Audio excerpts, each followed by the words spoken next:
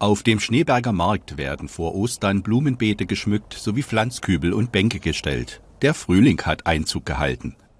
Die Anordnung der Pflanzkübel wird allerdings in einer veränderten Art und Weise vorgenommen.